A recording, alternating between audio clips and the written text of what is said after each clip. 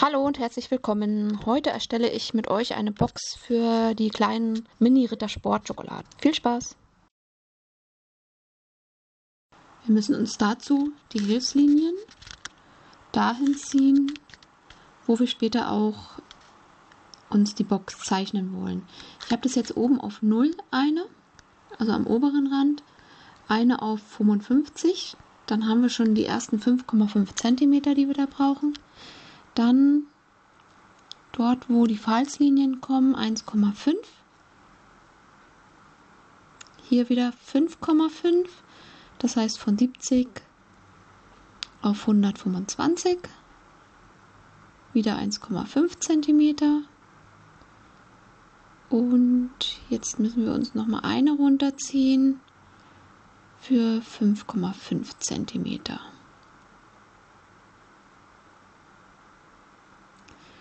Das gleiche gilt jetzt für die Seiten. Da habe ich auf 50 angesetzt, das ließ sich besser rechnen. Da müssen wir jetzt 1 cm, ups, wieder richtig, da müssen wir jetzt 1 cm hinmachen. Das wäre dann jetzt der 1 cm.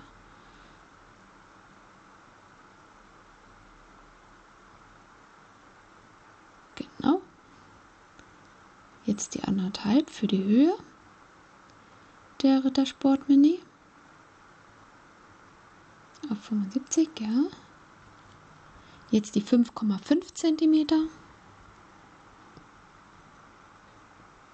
Da, wo die Rittersport dann reinkommt, das Innere der Schachtel. Und jetzt wieder die 1,5 für die Höhe.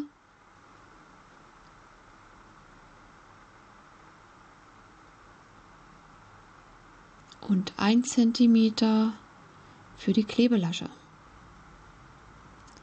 Ich weiß, das sieht jetzt noch nicht aus wie eine Box und sieht ziemlich wirr aus, aber wenn ihr das erstmal so habt, braucht ihr jetzt bloß noch an den Außenlinien oben. Also oben, das zeige ich euch gleich.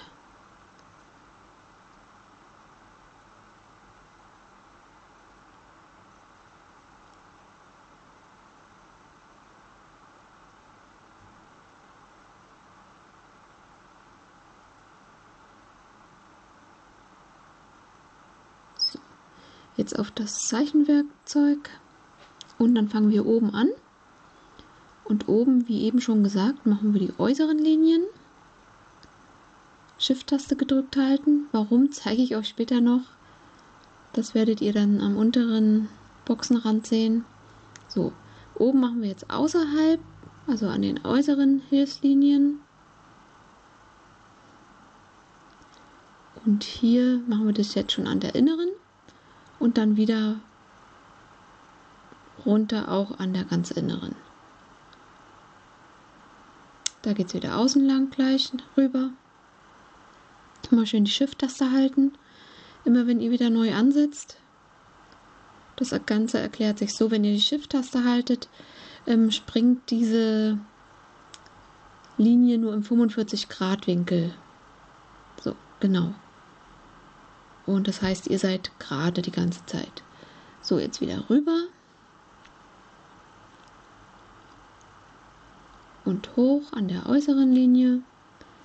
Weil diese Box hat ja so eine T-Form. So, das war's. Genau, müssen wir das Ganze noch einmal markieren. Am besten ihr macht es so, indem ihr das da drüber zieht. Dann einen verknüpften Pfad erstellen. Warum er das jetzt da nicht zeigt, weiß ich nicht.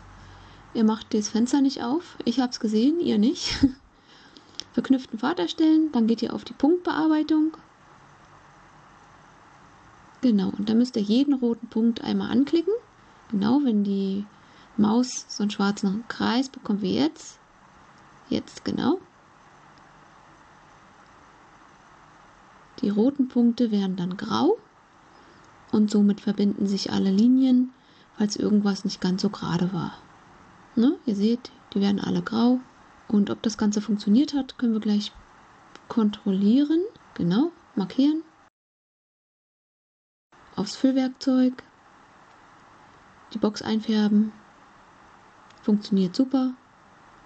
Machen wir es wieder raus. So, und jetzt können wir anhand der Hilfslinien die Falzlinien machen. Da nehmen wir uns wieder das Zeichenwerkzeug. Gescheit wäre es jetzt gewesen, gleich auf, ähm, auf die Falzlinien zu gehen. Jetzt hätten wir uns einen Schritt ersparen können, das war mein Fehler. Also einfach nur von oben nach unten runterziehen. Die müssen sich äh, mit der Box nicht verbinden, das ist ja eine Falzlinie, die müssen ja nicht ganz geschlossen sein.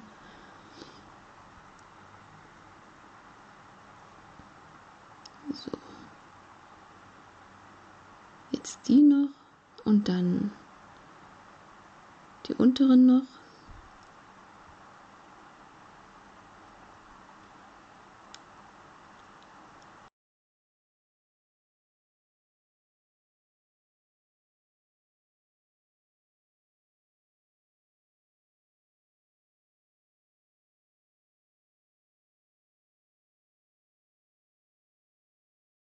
Die dann alle zusammen markieren. Das macht man auch am besten, indem man rüberzieht. Passt auf, dass die Box nicht dabei ist.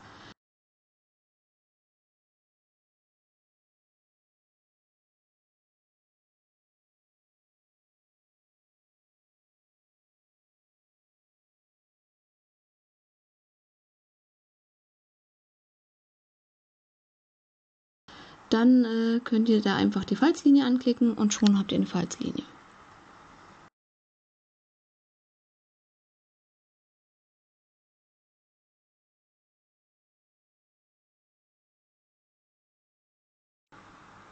Wenn ihr mehrere Sachen markieren wollt, Shift-Taste halten, dann markiert sich alles das, was ihr anklickt.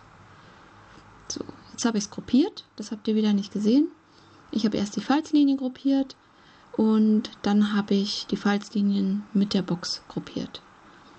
Dann habe ich mir äh, ein Label geladen, weil da soll das Sichtfenster rein. Das kann man sich auf die Größe ziehen, auf auf die man es möchte. Und zentrieren können wir es gleich. Genau, alles markieren. Dann gehen wir auf den Zentrieren-Button und gehen oben auf Zentriert ausrichten. Dann haben wir es schon mal links und rechts ausgerichtet. Um es jetzt oben und nach unten auch nochmal auszurichten, hätte ich jetzt eigentlich äh, die ganzen Gruppierungen nochmal lösen müssen. Wollte ich nicht, also habe ich es mir einfach so, so ein bisschen hingeschoben.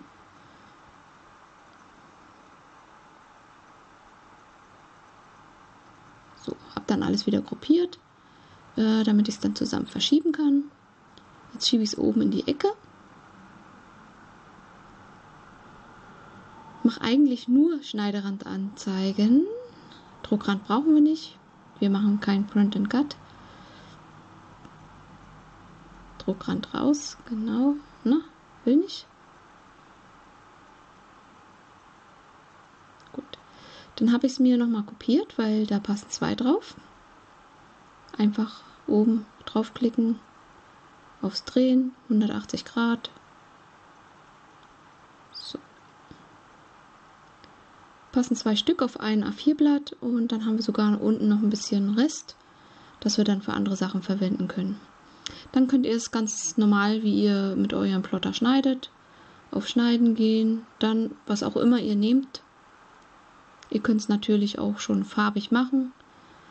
Also äh, Print and Cut ausdrucken. Ich habe hier Coverstock. Äh, ja, gemustertes Papier 180 Gramm, 180 Gramm, genau. Und dann wie gehabt, wie ihr das so schneidet. Falls ihr noch mehr Tutorials zu der Studio Software haben wollt, lasst mir doch ein Abo da und schreibt mir einen Kommentar. Und dann werden in regelmäßigen Abständen ein paar Tutorials dazu kommen. Danke, tschüss.